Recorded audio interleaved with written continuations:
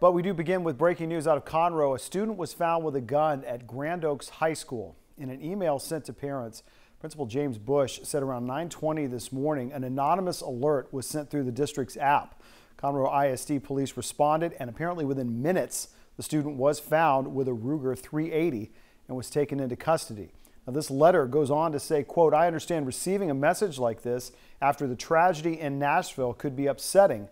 Weapons have no place in our schools, and it takes all of us to keep our schools safe. We could not be prouder of the student who submitted the anonymous alert. Vigilance and working together are our greatest safety measures, end quote. As we learn more on this, we'll certainly put updates on KHOU.com, and you can get breaking news alerts sent right to your phone using the KHOU 11 app.